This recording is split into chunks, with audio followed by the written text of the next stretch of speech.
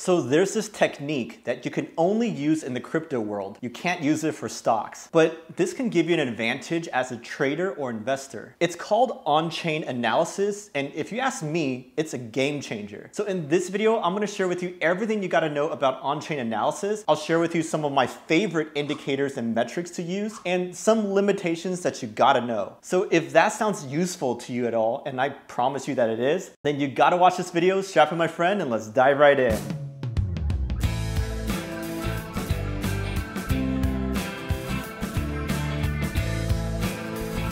So you must have heard about technical analysis or TA before, right? That's when people on YouTube or Twitter show you their fancy charts with squiggly lines and predict where the price of Bitcoin or some other coin is headed next. But on-chain analysis is totally different from TA. It has more to do with fundamentals because we're looking directly at the treasure trove of data that the blockchain offers us for insights. Now, if you've watched any of my videos before, you'll know that I'm all about this type of analysis because it makes so much more intuitive sense than what the chart traders do. So if you're a loyal viewer of this channel or plan on sticking around for a bit, then you gotta understand this topic. Just FYI, you can do on-chain analysis for a variety of different coins, but this technique is by far the most developed for Bitcoin, so we'll focus on that for this video. First, what is on-chain analysis anyways? Well, you gotta remember, the beauty of blockchain is that it's an open ledger, that anyone in the world can take a look at. We can see the current transactions and blocks floating around, of course, but we can also view all of them throughout history, all the way up to the first block that Satoshi ever mined. You may be surprised at how rich the info is that we can get our hands on. For example, we can see all the miners' wallets and if they're selling or holding, the amount of Bitcoin that each address holds, the amount of fees included in each block, how many new addresses are appearing every day, how long do people hold their Bitcoin before moving it, how many total transactions were sent on any given day. This is just a small sample of all the data you can get from looking at the blockchain. But I hope it kind of gives you an idea of the power of knowing this info. You can use this data to get a sense of the overall sentiment, see how investors are behaving on a larger scale. You can compare how these metrics correlated with price in the past so we can make educated guesses about price action in the future. Because we do have the historical price data data after all. So we can just overlay that chart on top of a chart of any of these metrics that I just mentioned. And lastly, we can use it to measure the overall utility of the Bitcoin network. Because remember, Bitcoin is not only for speculation, that's a part of it of course, but people actually use the network too to send like payments. So this on-chain analysis helps us divorce the raw utility value of the network from the speculative value. Now I want to pause here for a sec and just ask you, do you kind of see how this is more of a fundamental fundamentals approach for valuing Bitcoin. Like if we look to the stocks world, they have the popular price to earnings or P&E ratio. And we can build something similar for Bitcoin by taking its price and comparing it to the current value of the network, which can be represented by the dollar amount of all Bitcoin flowing to the network on any given day. By building metrics like these, we can potentially tell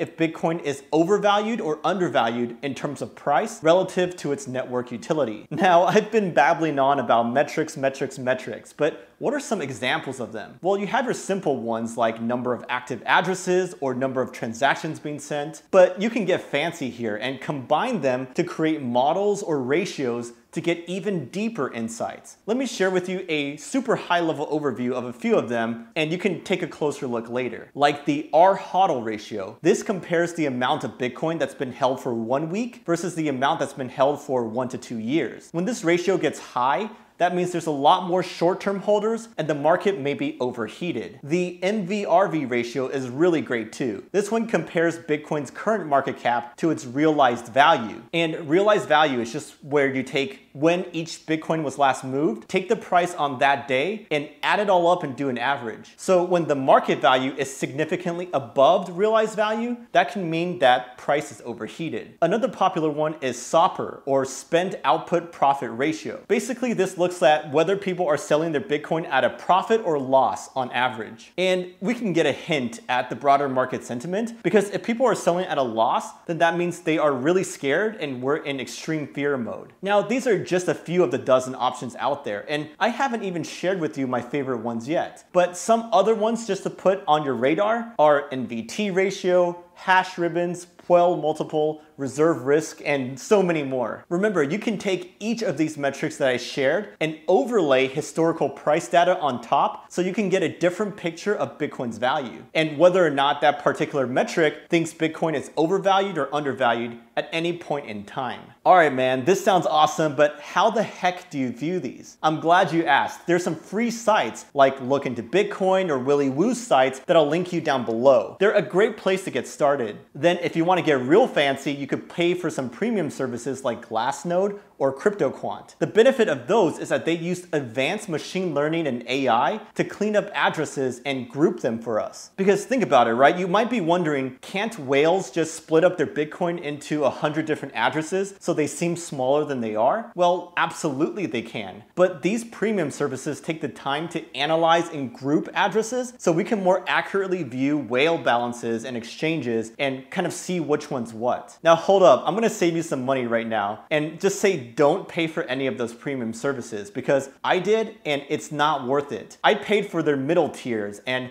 most of the best metrics and data that I actually want to see are in their top tier. And that costs like $800 a month. So if I were you, I would just go follow some on-chain analysts on Twitter instead, or subscribe to some newsletters that break down and share the premium data for us. Now it's time for me to share my favorite on-chain metrics to look at. The first one I like to watch is whale balances and how they're trending over time. Like the addresses that hold between 100 to 1000 Bitcoin or even more than 1000 Bitcoin is that cohort growing in number or decreasing? This is really clutch info because you already know that whales know the secrets and the behind the scenes stuff that we're not privy to. And for that same reason, I like to look at miners' wallets too, and if they're holding the Bitcoin that they earn or if they are selling it. Because miners spend all day, every day thinking about Bitcoin and how to manage their business operation. So you best believe that they are analyzing the market more closely than anyone else is. Another thing I like to look at is a chart of long-term holders versus short-term holders and how that is trending over time. Because when long-term holders start to take more profits, that can mean that we're nearing a top. And another great metric related to this is the SOPR one that I mentioned earlier in the video. And the last metric I like to keep an eye on is the Bitcoins moving into or out of exchanges. This one has been super clutch lately because when Bitcoin is going into exchanges, that usually means that people are about to dump their coins. But when it's leaving exchanges in droves, that's when they're being sent to cold storage and people plan on hodling for a long time. What do you think about my favorite metrics though? The whales, the miners, long-term holders, and exchange balances. Are there any great ones that I might be missing? Now, before you go and sell all your Bitcoin or go 100x long, when one of these metrics tell you to, there are some huge limitations you gotta know. Like one is as more and more people start to use second layer solutions like the Lightning Network, the ability of on-chain analysis may weaken. Because remember, those transactions are not sent directly on the base layer of Bitcoin's blockchain. So there may be a lot of activity going on that's completely hidden from us. Number two is that different metrics may tell a different story. I mean, some of them may be screaming overvalued, while other ones show that everything's still a-okay. You gotta consider them holistically and not just pick out the ones that confirm your bias while ignoring the other ones. And number three is that you gotta be careful when matching up these metrics with price action in the past because Bitcoin hasn't been around for that long, right? We only have 12 years of data so far. So just because some metric was perfect at predicting tops and bottoms in the past doesn't mean it's gonna work in the future. Specifically, those zones of overvalued and undervalued may shift over time as we get new data. So just keep that in mind. And lastly, number four, I personally consider on-chain analysis more of a long-term pull or magnet for Bitcoin's price. It is definitely not for day trading and can't predict short-term volatility. That's why if you do care about the day-to-day -day price movements, then you should keep an eye on TA for those purposes. So in my opinion, there is room in the world for both TA and on-chain analysis. Now, I gotta warn you right here that on-chain analysis can be flawed too, and some models are just flat out wrong. Like stock to flow has been invalidated statistically, and yet so many people still believe in it. Probably because Plan B is still trying super hard to cling on to any remaining relevance that he has. If you're curious about why I think it's flawed, you should definitely watch my video up here explaining that. And also, if you want to get the first credit card in the whole world that gives you cash back directly in Bitcoin, then sign up for BlockFi's credit card using my waitlist link I'll leave you down below. I just got mine and have been using it everywhere. Anyways, I'll see you on the next one and cheers.